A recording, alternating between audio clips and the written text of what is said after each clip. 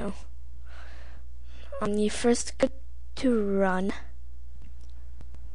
then you type in CMD, then press enter.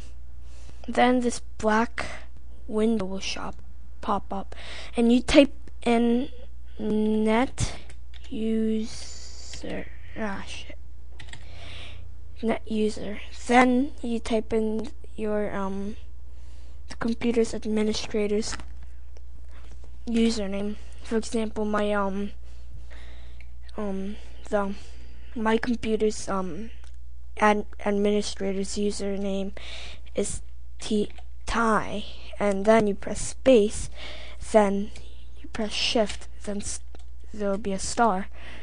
Shift and then press eight. Wait, I'll just try this again.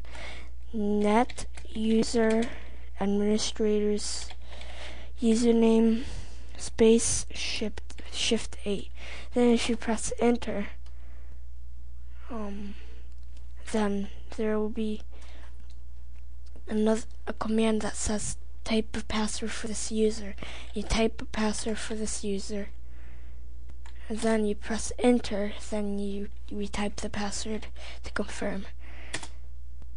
Then if the command is completed successfully, then your administrator's um, password is Jane.